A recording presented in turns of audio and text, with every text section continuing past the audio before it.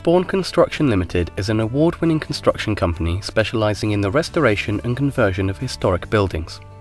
The company's foundations were first laid in the industry over 50 years ago, and they are masters at combining the historic soul of a property with a modern, ecological twist. Every project is approached as a prototype requiring detailed management and the very best highly skilled tradesmen to deliver a building that exceeds, from every aspect, what was envisaged from the original drawings. Team at Spawn Construction are experienced craftsmen with a firm grasp on traditional practices, coupled with knowledge and proficiency in modern techniques, who are able to achieve the perfect fusion between old and new. Spawn Construction focuses not only on delivering an outstanding finished product, but also the construction process to that point. Their aim is to make the journey an enjoyable one. The Clark Howes Group is a public accountancy and business services firm serving clients across much of the southeast. Their main focus is the business to business arena.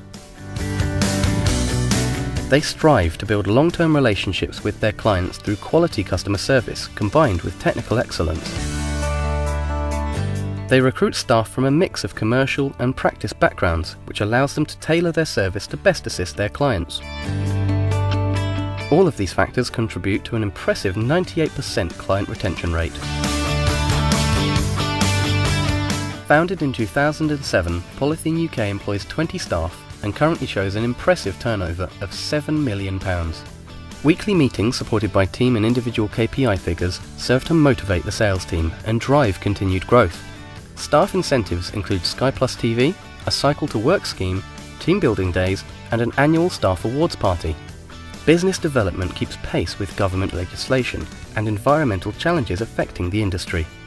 An exclusively branded range of down-gauged, greener films and compostable bags ensure customers maximise their ROI and improve sustainability by decreasing their carbon output.